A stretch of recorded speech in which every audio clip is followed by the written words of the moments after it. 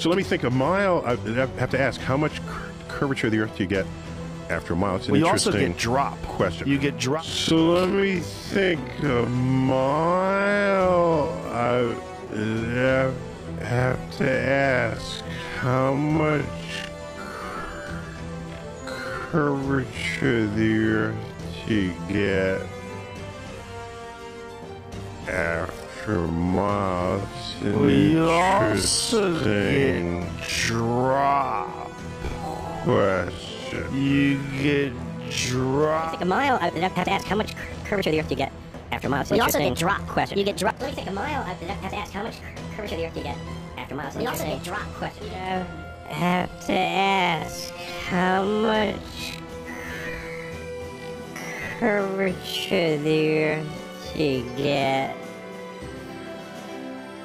after a mile? It's an interesting drop. question. You get